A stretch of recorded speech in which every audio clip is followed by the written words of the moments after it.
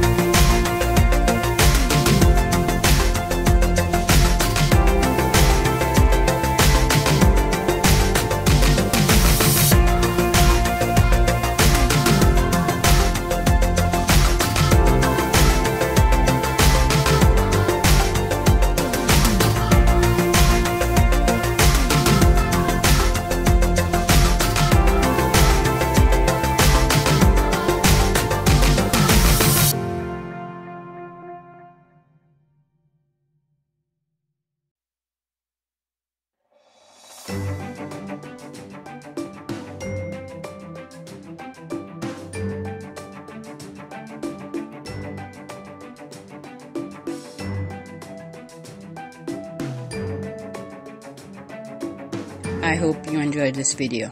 Don't forget to subscribe, like, and share. Thanks for watching.